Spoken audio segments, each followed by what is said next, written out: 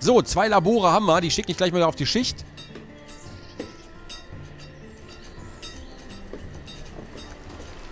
Ich hoffe, irgendwann geht es ja mal weiter. Vielleicht hätte ich erst die Brücke bauen sollen, damit die nicht immer hin und her laufen müssen. Du musst dann da hinten über die Brücke laufen. Das ist vielleicht ein bisschen ätzend, aber naja.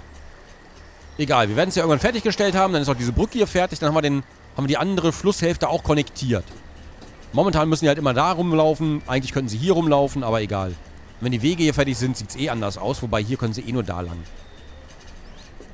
Was eigentlich auch okay, was noch okay wäre. Müsste man hier noch einen Weg runterbauen oder so? Weiß ich nicht. Ich will aber auch nicht zu viel vom Förster wegnehmen. So, drei Leute ohne Tools. Es wird langsam wieder. Huch.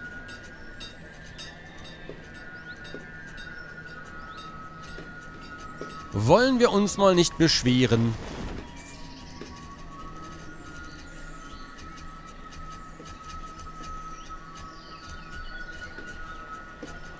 So, puh, ein Leute ohne Tool. Das heißt, wir haben die Toolkrise eigentlich soweit auch über, ganz gut überwunden. Da hinten wird gebaut, dass die Schwarte kracht. Ich freue mich sehr. 75% complete, 61 von 160 schon gebaut. 62, 63, 64. Siehst du mal, da kommt der nächste Handwerker. Das geht jetzt richtig flotti rabotti. Jetzt haben wir noch einen Laborer übrig. Den lasse ich mal, falls irgendwo einer wegstirbt, dass er gleich die Lücke füllt. Denn die Baustelle geht ja eh voran. Die kriegen wir dieses Jahr noch fertig und wir brauchen Tools. Natürlich brauchen wir Tools. Wenn die Brücke dann noch fertig ist und die Wege nach und nach fertig gebaut werden, ich glaube, dann können wir bald auf die andere Flusshälfte rüber wechseln. Hier können wir noch ein kleines Holzreservoir hinbauen. Generell, das gilt ja... Obwohl, da bin ich mir gar nicht so sicher. Und ich glaube auch nicht, dieser Fluss hier ist, glaube ich, für einen Fischer ist dieser Fluss hier zu low. Ich glaube, das können wir nicht machen. Da müssten wir eher so in diese Richtung gehen hier hinten. Ich weiß aber nicht genau, wie das ist mit dem Fischer. Da muss er den ganzen Krempel dann wieder darüber tragen. Das ist so ein bisschen ätzend. Da brauchen wir Labora, die jetzt die Fische dann durch den Wald da hinten hinbringen. Das lohnt sich einfach gar nicht. Deswegen habe ich noch keine gebaut. Da ist der Weg einfach viel zu lang und viel zu doof. Also auf Fischerei verzichten wir momentan in Stuckenborstel. Ist auch eher ein untypisches Geschäft bei denen.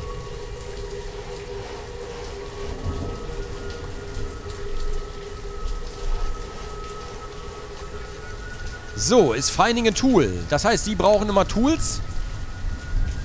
Die machen ihre Werkzeuge kaputt und suchen sich neue und leider müssen sie dafür den langen Weg gehen, immer hin und her laufen. Da müsste man hier bald wieder irgendwo Tools haben, pipapo, also irgendwo ein Lagerhaus und dann müsste man auf der anderen Seite quasi wieder ein Städtchen bauen. Einen anderen Stadtteil von Stuckenborstel. Das hier ist Stuckenborstel Altstadt Süd sozusagen und wir bauen in den Norden hoch. Und hier auch hier, oh, da ist schön. Da könnte man Fischer bauen zum Beispiel eine Menge. Dann müssten wir mal den Süden bauen. Das geht hier durchs Waldgebiet. Das ist der Stuckenborstler Forst. Der, der Stuckenforst. Oder der, der, der Borstelforst. Der Forstelborstel. Der Borstelforstel. Ja, der ist das, genau. Also der Forstelborst. Der, der, der Borstelforst. Also der Borstelforst wäre das hier. Ah, das ist schon wieder Nebel und Regen. Leckt mich doch. Und dann würde man dann hier quasi nach unten bauen. Dann könnte man dann autarkes, einen autarken Stadtteil bauen. Ich weiß noch nicht genau, wie wir das am besten machen. Ich will nicht die ganze, die ganze Karte vollbauen, natürlich. Dass da alles dicht an dicht steht.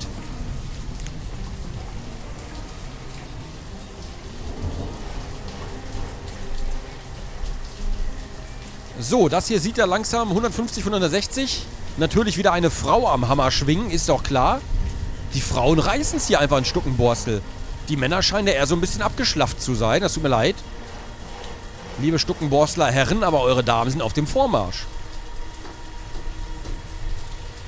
Gönne ich mir erstmal einen Schluck Kaffee.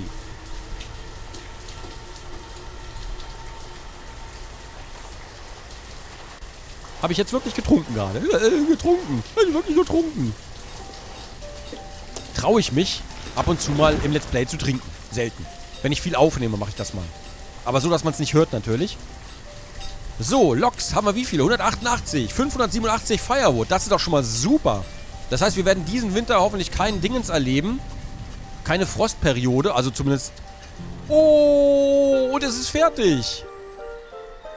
Jetzt gucken wir mal. Status, Jahr 22. Können wir die Town Hall gleich angekettet lassen. Go-To, da können wir gleich zu, zu, den Typen gehen. Production, Logs haben wir, Limit 400, Current 182 haben wir, Use 247, Produce 229, In einem Jahr verbrauchen wir 417 Loks. In einem Jahr stellen wir 544 her, das heißt, das ist gut. Gu gut. Futter haben wir in einem Jahr 8500 verbraucht, 9400 hergestellt, das ist auch super. Tools. 26 hergestellt, äh, 26 benutzt, 2 hergestellt. Das ist nicht ganz so gut, da müssen wir ein bisschen mehr nachlegen. 41 benutzt, Stone 66 benutzt, 92 hergestellt. Das war jetzt aber nur, weil wir Leute in den, in den Minen hatten. Klamotten 17 benutzt, 18 hergestellt. Alkohol 00, Kohle 3 benutzt, 27 hergestellt.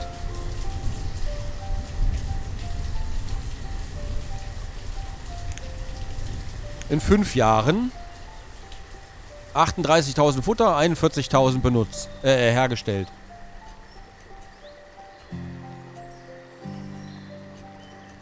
Fuel? Fuel?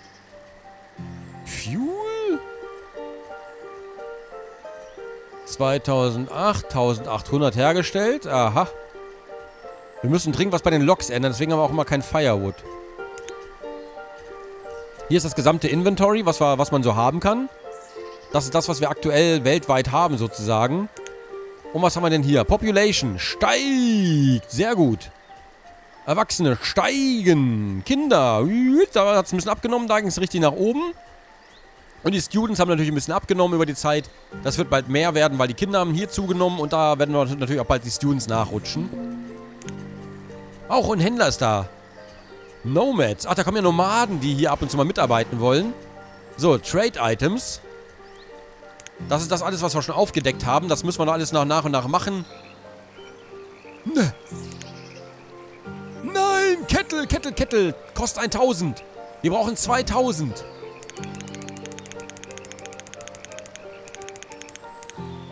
Dann haben wir zwei Kettel.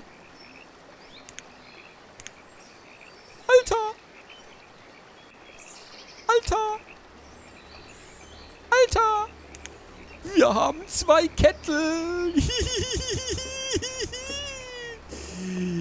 Geil. Geil. Können wir hier sofort... Kettel. Ja. Geil. Wir können hier loslegen. Wir brauchen jetzt allerdings noch einen Hertzman. Don't tell me that I'm Hertzman. So, hier. Zack, Hertzman. Das heißt, wir können jetzt endlich Tiere züchten. Ich freue mich sehr, ich freue mich sehr. Ich freue mich sehr. Da, guck mal, guck mal, wer da ist. Die Brahmin steht schon da rum. Also nicht Brahmin, sondern Brahmin. Ich hoffe, ihr wisst, was Brahmin heißt. Wer das nicht kennt, nimmt Cookie Dent. So, Custom Order. Kettle mache ich mal aus. Chickens und Sheep hätte ich gerne noch. Weil Kettle haben wir ja jetzt. Bringt das auch mal jemand weg? So, da kommt er angescheißert. Oh, oh, ich hoffe, der nimmt jetzt nicht das ganze Feuerholz weg. Der bringt Feuerholz. Können wir vielleicht die Kettles wegbringen? Nur mal so angedacht? Ja, die Kuh. Da latscht die Kuh. Die Kuh macht Mu. Da latscht die Kuh. Schade, dass die Kühe keine eigenen Namen haben. Die Kuh latscht wird.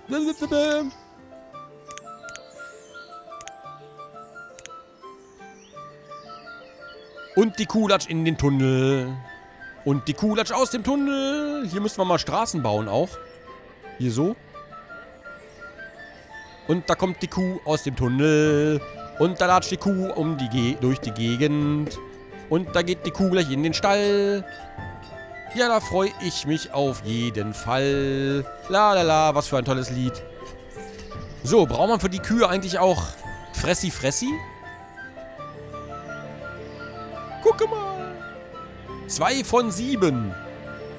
Number of animals to keep in the pasture. Exceeding this count will result in nothing being slaughtered for food. Okay, wir werden sieben Kühe anbauen und dann mal gucken, was passiert. Die müssten sich jetzt vermehren. Ich gehe mal davon aus, das sind zwei unterschiedliche geschlechtliche Kühe oder die können sich gegenseitig befruchten. Yeah, die Brücke ist jetzt auch da. Hier fehlt aber noch ein bisschen Sträßchen. So. Dann haben wir da eine schöne Straße und können dann hier ganz easy auch immer... Ne, sieht ganz gut aus. Macht sich da echt ganz gut. So ein bisschen überblickend sozusagen. Und wenn hier überall dann lecker Ernte ist und so, ein bisschen Grüngürtel, dann sieht das noch ein bisschen besser aus hier.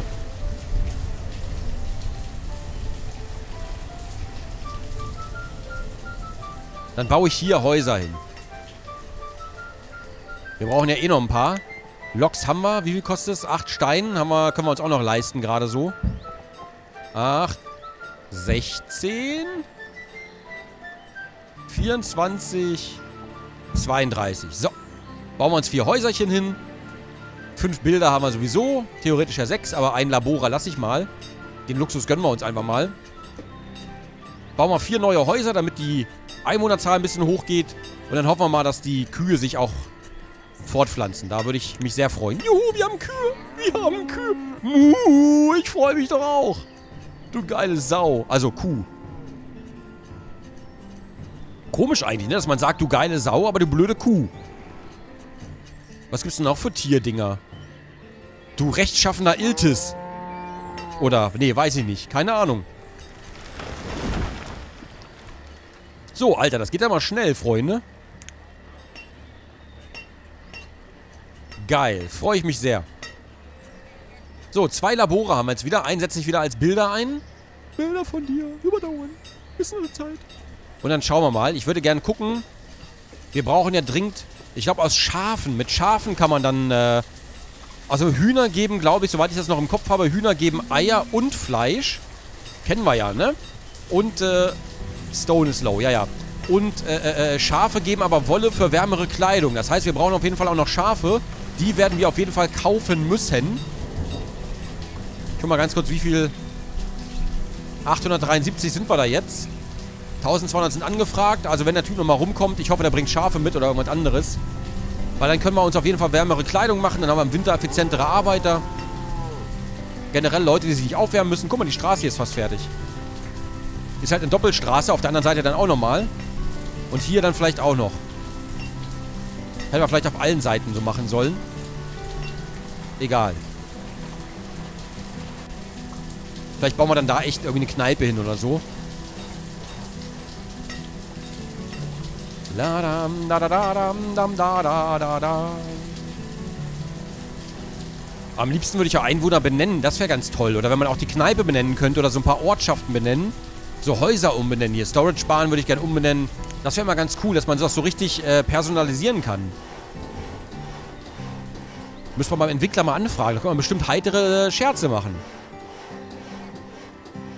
So, hier ist momentan alles noch Dreckweg sozusagen. Da machen wir natürlich später Stein hin alles. Wird alles natürlich Stein. Auch die, auch die Häuser müssen zu Stein werden, damit wir nicht so viel Heuer, äh, nicht so viel Heuerholz, nicht so viel Feuerholz brauchen. So, schon wieder ein Laborer. Geil. Und hier wohnen sofort Leute. Alfred, Alfrederik. Alfrederik und Symond. Er ist mit 16 schon Arbeiter und sie ist mit 18 noch in der Penne. Einer muss ja die Kohle ran schaffen. Hier haben wir Rome und Alinaya.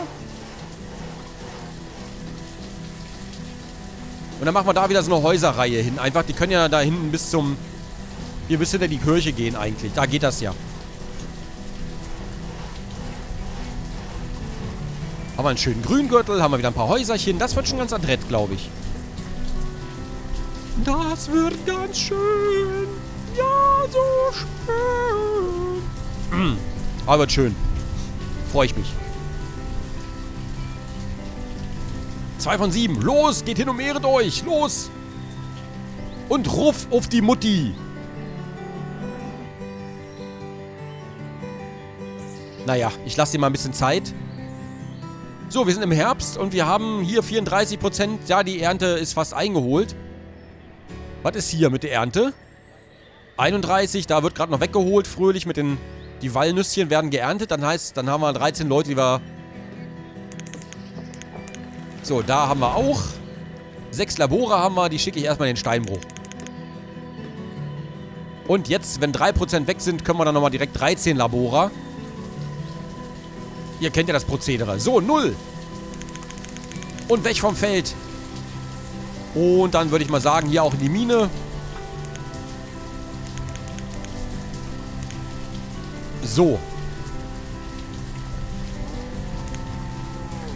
Die armen Bauern. Tut mir ein bisschen leid. Im Sommer auf dem Feld knüppeln und im Winter muss er dann trotzdem noch äh, in die Mine. In die Minenschächte. Aber hilft ja nichts. Stuckenborstel muss leben. Da fehlt noch genau ein einziger Stein.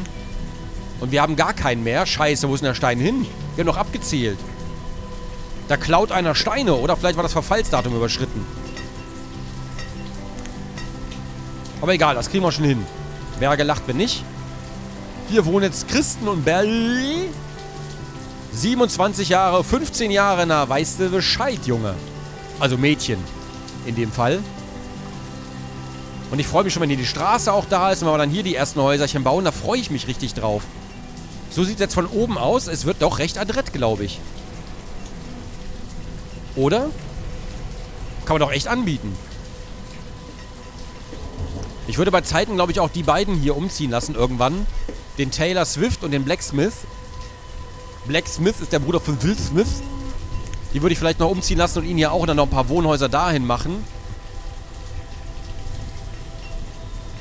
Die könnte man theoretisch ja sogar da unten hinziehen lassen. Hier so.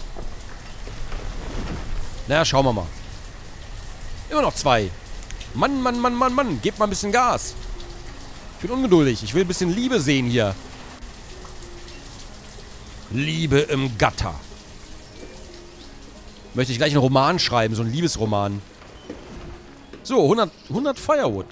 188 Loks, 250 Firewood haben wir.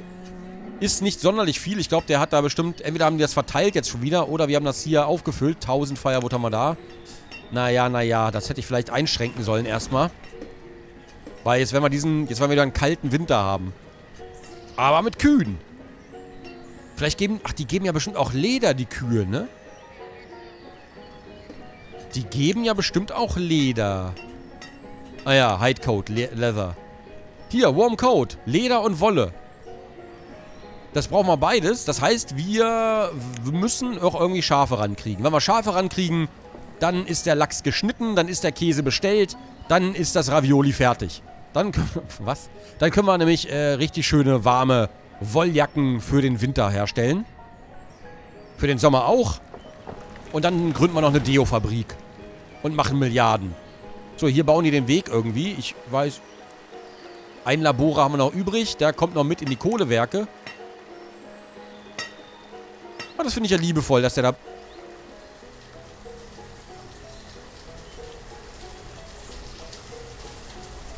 Okay, picking up resources. Der hat also nur zwei Steine mitgehabt, oder was? Naja, das ist ja ein bisschen... Bisschen mau. Egal, was soll's. Mühsam ernährt sich das Eichhörnchen.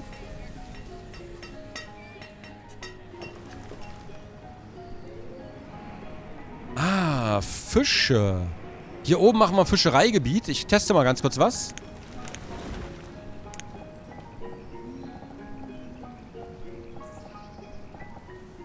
So, das sieht ganz gut aus. Da können wir tatsächlich ein paar Fischbetriebe hinmachen. Ein, zwei rund um das Ding rum. Wobei, nee, hier geht's nicht. Rund um das Ding rum hat sich gerade erledigt. Wir können dann vielleicht hier so ein bisschen. Eins, zwei, drei, wenn wir Glück haben. Boah, es sind ja überall immer irgendwas Rotes. Also hier wird es gehen, dann da einen hin, dann da oben einen hin. Ich glaube, drei Stück kriegen wir dran und dann hier noch ein bisschen am Fluss. Dann hätten wir da hinten so wirklich so ein Fischereigebiet, wo die ganzen Fische immer herkommen würden.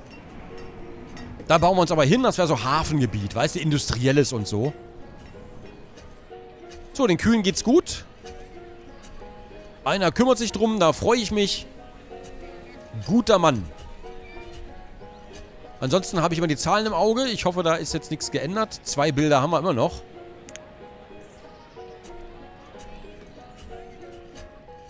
Aber das mit den Kühen wird eh noch ein bisschen dauern. Die müssen sich fortpflanzen und erst wenn wir hier über sieben Kühe haben, erst dann werden die ersten Kühe geschlachtet. Das heißt, sie müssen sich erstmal fortpflanzen. Da müssen wir ein bisschen geduldig sein.